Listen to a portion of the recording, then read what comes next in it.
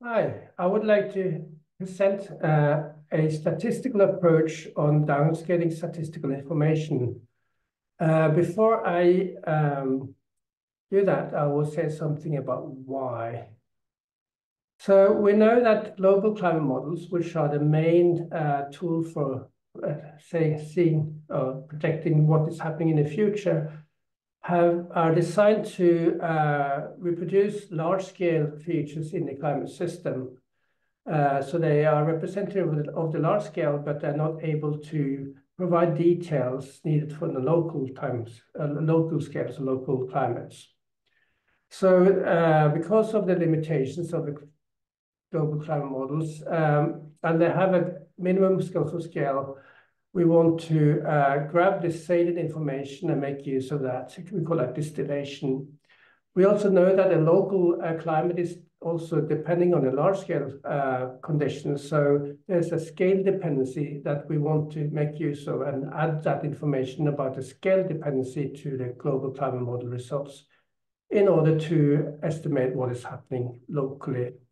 And here we focus on the statistics of 24-hour precipitation locally, for instance, heavy events. Um, we want to go um, to derive robust results. And uh, for, for instance, uh, we, uh, when we use general extreme value theory, uh, we often have three parameters, scale, shape, and location, which are fitted on the tail of its distribution or a small subset. And then their estimates can vary quite significantly depending on how it's uh, the the uh, the data is being sampled, because there's a, there's a small number of, of, of data points.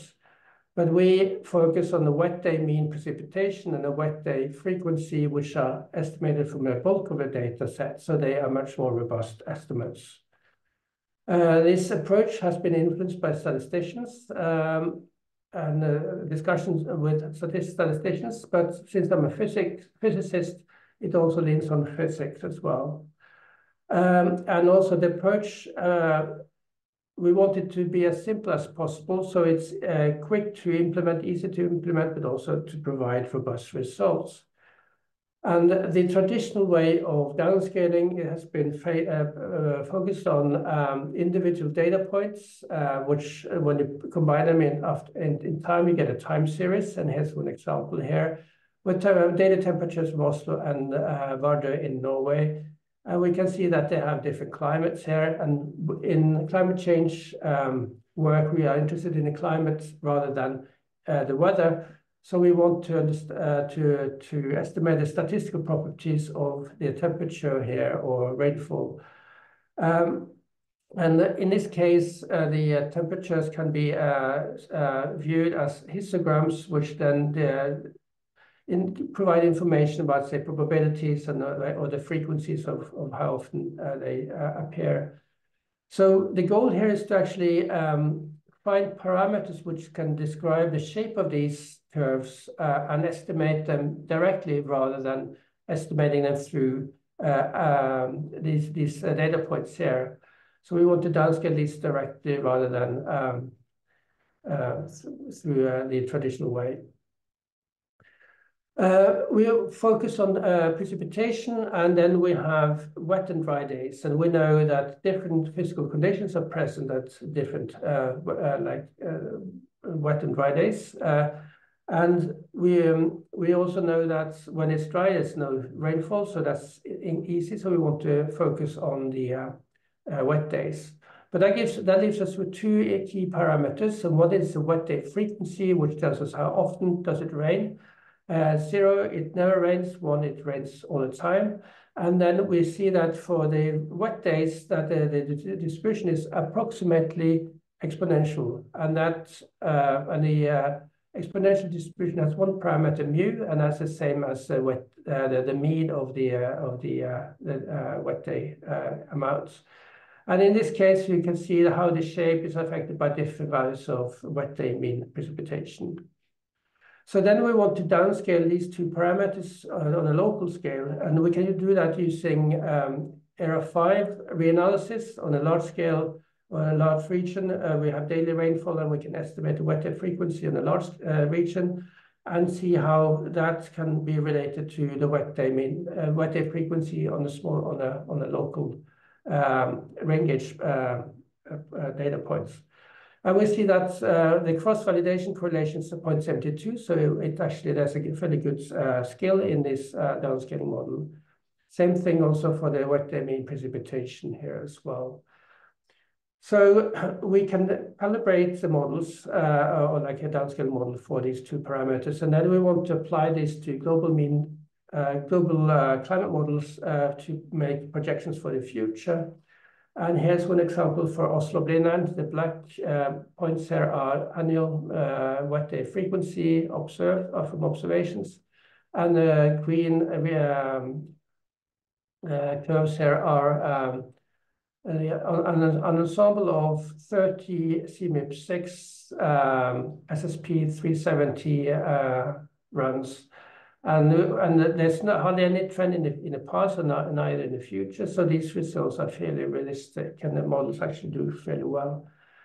A similar analysis for uh, the, the wet day mean precipitation indicates that there has been a, a slight trend in the past, uh, but also like the models indicate like a slight trend in the future. But we see also that there are some some strange features here at the bottom here. So some of the models may not do, do reproduce the wet day mean precip precipitation as well as uh, others. Um, we can use these two uh, parameters to estimate the shape of curves as well. And one example here is the intensity, duration, frequency curves uh, the blue ones uh, uh, show the present, and the red one the future IDF curves here. Here's the duration of rainfall. Here's the amount of rainfall. These curves are based on this equation here. So this is parameterized um, curves, only approximate, of course. And the wet day mean precipitation is is is one parameter. The wet day frequency is another. And then the L is the duration of rainfall in, in terms of hours. And the tau here is the, uh, uh, the uh, return interval, uh, as we see in the different uh, panels here. Uh, in this, and now an alpha is a, is a calibration coefficients. And in this case, we used wet and mean precipitation and frequency from um, the EURO-CORDEX ensemble, and you can see here uh, there, uh, the, the ensemble and the spreads here as well. And another way of um, predicting the shape of the IDF curves is through principal component analysis, PCA. This is a non-parameterized way. It's more like machine learning.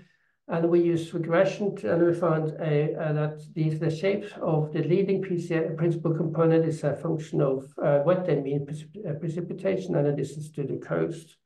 And you can see that the, we have curves for various parts of the of the country here. So and the, and the colors of the curves match the colors in the map here as well.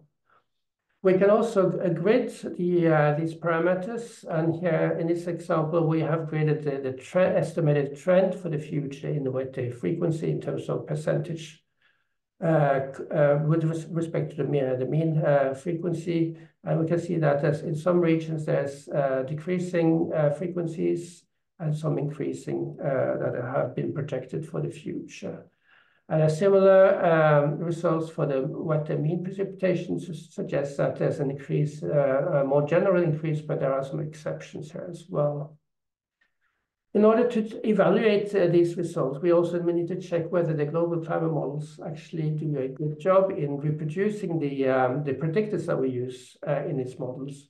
And for this, we use common EOFs to see if the, uh, the global climate models capture the covariance structure found in the, the reanalysis. And this example shows the spatial pattern of the covariance matrix uh, uh, structure. And um, based on a joint data set of uh, the mean annual cycle of all the CMIP6 models and also ERA5 as well. And, uh, and the, the leading uh, components uh, explain 68%. So, so there's a there's a, a fairly close similarity. So the, the models do match ERA5 fairly well. And you can see here is the the uh, the time index of the, the leading mode, and the, the black curve is ERA5, and the green ones are the CMIP6 and one outlier has a different color here as well. So it is a fairly good job. in addition to cross-validation of downscaling results. And we also check whether the observations are consistent with the statistical population of the downscaled ensemble, uh, looking at spread and, and trends as well. So towards the end, I want we also want to emphasize that we need to combine uh, statistical downscaling and dynamical downscaling because they uh, make completely different assumptions but should give the same results. So to, uh, here we have combined uh, EURO-CORDEX results uh, with um, empirical statistic, statistical downscale results um, uh, in red. Exactly the same models, and we see that they actually correspond fairly well, so the downscaling works.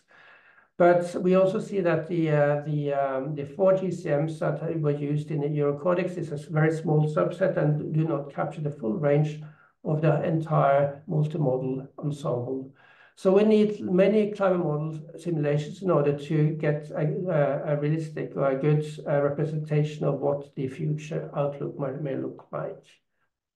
So uh, by that, I want to thank you for your attention. And if you have any questions or anything, uh, please don't hesitate contacting me. Thank you very much.